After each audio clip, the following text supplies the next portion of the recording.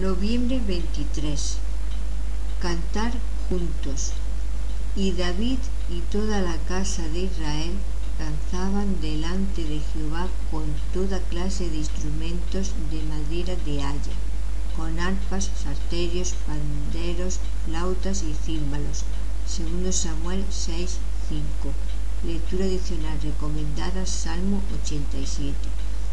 David y los israelitas cantaron un himno a Dios con instrumentos y música.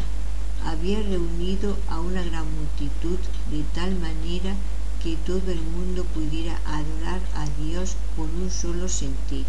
Sabía que Dios no se había dado a conocer únicamente a él, sino a toda la familia de Abraham.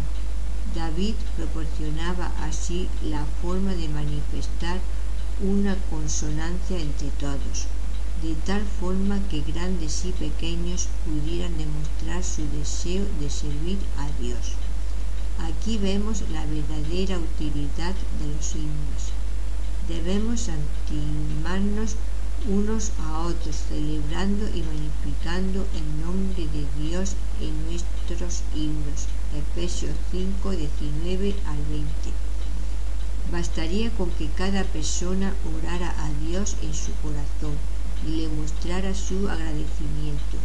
Eso es una adoración genuina a Dios, puesto que es como si Él declarara, invócame en el día de la angustia y alábame luego, cuando sepas que te he respondido. Salmo 50, 15.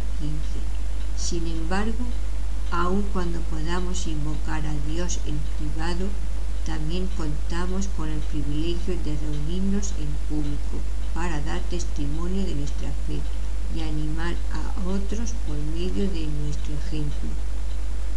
Cuando oramos a Dios en la iglesia y cantamos salmos, no lo hacemos para exhibirnos, sino para declarar que no buscamos otra cosa más que la glorificación de Dios entre nosotros. Reunirnos en su nombre también debiera servir como un aguijón que pulsara nuestra pereza. Debemos animarnos unos a otros continuamente. Hebreos 3:13.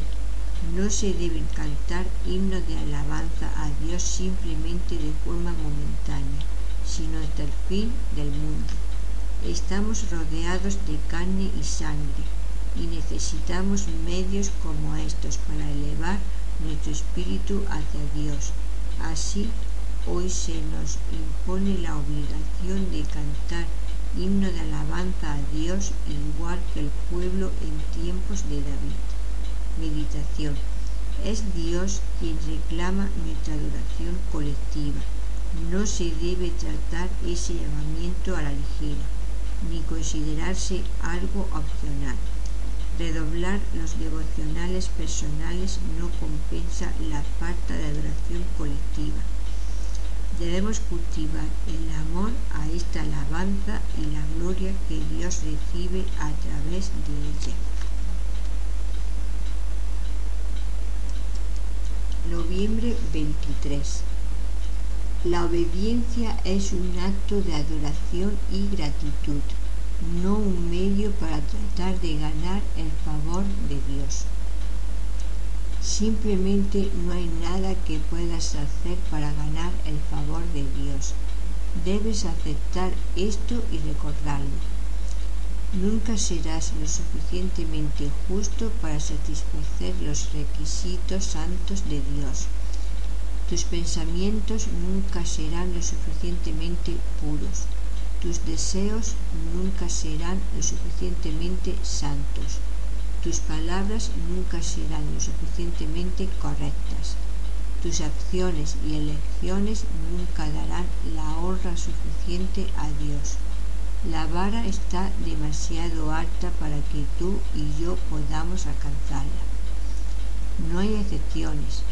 Todos vivimos bajo el mismo peso de la ley y bajo la incapacidad del pecado. Todos somos más rebeldes que sumisos. Todos somos naturalmente más orgullosos que humildes. Todos somos más devotos a la idolatría que a la adoración a Dios. somos mejores en hacer guerra con nuestros enemigos que en amarlos. Todos encontramos que la envidia es más natural que el contentamiento. Todos somos ladrones de una u otra manera. Todos codiciamos lo que otros tienen. Todos tergiversamos la verdad en lugar de protegerla. Todo condenamos con nuestras palabras en lugar de otorgar gracia. Damos evidencia diariamente de que nunca llegaremos por nuestras propias fuerzas al estándar de Dios. Aquí está una declaración que lo dice todo. Por tanto, nadie será justificado en presencia de Dios por hacer las obras que exige la ley. Romanos 3:20. ¿Y por qué es esto verdad? Es verdad, pues todos han pecado y están privados de la gloria de Dios. Romanos 3:23. El lenguaje lo incluye todo no deja lugar a excepciones. Es la noticia devastadora que toda persona necesita aceptar en su corazón y en su sentido de identidad. Pero esta noticia difícil de aceptar no es la puerta a la depresión, sino a una esperanza eterna y al gozo. Es solamente cuando aceptas quién eres y lo que eres incapaz de hacer que comienzas a entender tu necesidad del regalo de Dios. Pongamos las malas noticias y las buenas noticias juntas tal como lo hace Pablo en Romanos 3. Él escribe, todos han pecado y están privados de la gloria de Dios, pero ese no es el final de la historia. Continúa diciendo que por su gracia son justificados gratuitamente mediante la redención que Cristo Jesús efectuó.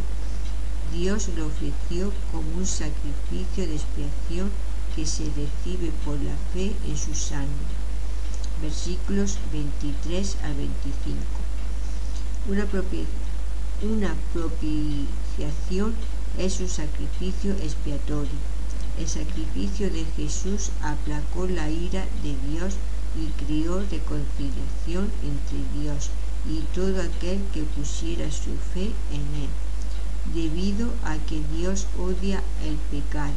La única manera en que nosotros, los pecadores, podíamos tener una relación con Él era que Jesús diera su vida como pago por nuestro pecado. No necesitas obedecer para ganar el favor de Dios.